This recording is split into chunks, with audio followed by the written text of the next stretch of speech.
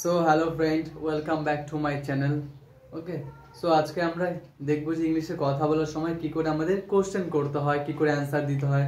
তোমরা দেখবে, আমরা যখন কারোর সঙ্গে কথা বলব, আমাদের কি অনেক সময় কোশ্চেন করতে হবে। যদি তুমি কোশ্চেন করতে না পারো, তাহলে তুমি কথা বলতে পারবে না। তো কোশ্চেন করতে হবে, তোমাকে অ্যান্সার দিতে হবে। সো তুমি যখন কাউকে ফোন করবে সো তোমাকে তখন কেমন ধরনের কথা বলতে হবে, কেমন ধরনের কোশ্চেন করতে হবে, কেমন ধরনের অ্যান্সার দিতে হবে, ঠিক আছে? সেগুলো নিয়ে আজকে কিছু ভিডিও তো তোমরা একটু প্র্যাকটিস করবে প্র্যাকটিস করলে তোমাদের ইংলিশ বলতে অনেকটাই সহজ হবে। তোমরা সহজেই বলতে পারবে ওকে সো বোর্ডে দেখো। ওখানে কি বলা আছে? ক্যান ইউ হিয়ার মি দেখবে তুমি যদি কারোর সঙ্গে ইংলিশে কথা বলো ফোনে তো তোমাকে আগে জিজ্ঞেস করবে ক্যান ইউ হিয়ার মি আচ্ছা তুমি কি আমাকে শুনতে পারছ?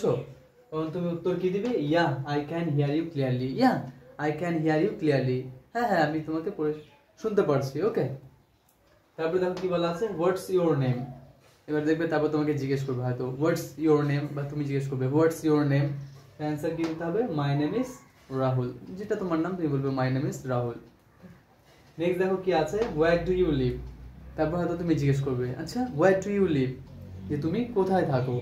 সেটা এখন উত্তর দেবে, কি বলবে? আই অ্যাম ফ্রম ইন্ডিয়া তুমি বলতে পারো তুমি যেখানে থাকো। আমি কি বলব আই অ্যাম ফ্রম ইন্ডিয়া কোন শহরে থাকো সেটা এইভাবে বলতে পারো। সিটি ইজ কল্ড জলপাইগুড়ি তাহলে কি বলবে? I am from India city is called Jalpaiguri okay next দেখো কি আছে? What do you what do you do okay কি বলেছে? হোয়াট ডু ইউ ডু আচ্ছা তুমি কি করো? তখন তুমি অ্যান্সার দিবে আই এম আ স্টুডেন্ট তুমি যেটা করো সেটা বলবে ওকে তুমি বলতে I am a student of class ten and I am a job holder okay so যেটা তুমি করবে বা করো, সেটা তুমি বলবে। তাহলে বুঝতে পারলে এগুলো তোমার প্র্যাকটিস করো, দেখবে তোমাদের বলতে সুবিধা হবে। আর তুমি দেখবে যখনই কারোর সঙ্গে কথা বলবে, এই সেন্টেন্সগুলো তোমাকে অবশ্যই প্রয়োজন হবে।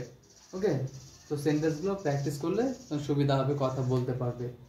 So if you really want to speak with anyone then you need to do practice those sentences okay so practice those sentence really it will help you to communicate to the others and you can speak with anyone okay you know that when we talk then there are a lot of people actually from various country, various state. So if you know that type of sentence, then you can easily connect with them. Otherwise, you have to struggle. Okay so if, if you have really passion and if you really want to speak okay then you need to do practice so do practice every day and definitely it will help you okay so till then be awesome be fine okay so bye take care